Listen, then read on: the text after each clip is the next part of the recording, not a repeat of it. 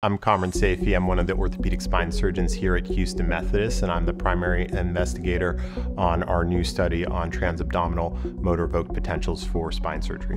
Transabdominal motor evoked potentials is a uh, novel technique that we have employed recently at Houston Methodist to reduce the risks associated with spine surgery, and we have found it to be much more reliable and accurate than the uh, prior methods for spine surgery neuromonitoring. With spinal neuromonitoring, we are able to watch the nerves in real time during surgery to help prevent injury to the nerves. Neuromonitoring is absolutely critical in spine surgery, particularly in high risk cases where we're doing significant manipulation of the nerves. Neuromonitoring allows the neuromonitoring team to inform the surgeon if one of these nerves is getting irritated, and that allows us as surgeons to check the nerve and decompress it.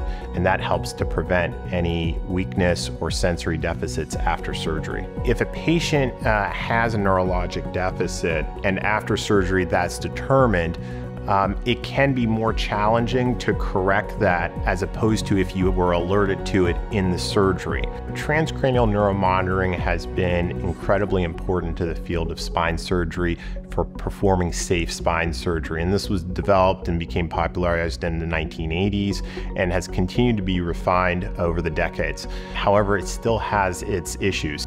One of the challenges with transcranial neuromonitoring is that it begins at the brain where we send a signal through the scalp and the cortex, and that goes down to the muscles, and then we measure in the muscles. The issue is that in the brain, it can be affected by anesthesia, and that can affect our signals in a way that don't truly represent the function of the nerves. So at Houston Methodist, what we've done is we've uh, worked on a system where we bypass the brain and stimulate the nerves at the conus medullaris around T12L1. And this is uh, actually an antidromal signal uh, that goes through the lumbar nerve roots uh, down into the extremities.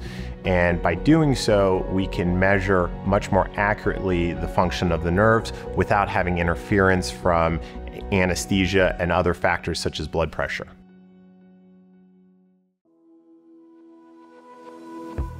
So, in our study, which is the first study ever looking at transabdominal motor evoked potentials in spine surgery, for each patient, we did both transcranial motor evoked potentials and transabdominal. So, each patient served as their own control. And what we saw was that transabdominal motor evoked potentials were incredibly more reliable than transcranial. And so in our study, 99% of patients who had transabdominal motor evoked potentials had a clearly reliable signal in all muscle groups, whereas in our transcranial group, only 89% of patients had those same reliability statistics. So in that situation, you have 11% of patients who you get an, a critical alert, meaning um, motor evoked potential decrease of greater than 80% in amplitude, and yet there was actually no real issue with the nerves. The downside with this is, of course, it extends the length of surgery unnecessarily because it is a false positive. When we looked at false negatives, we had zero of those situations in our transabdominal group, which is incredible.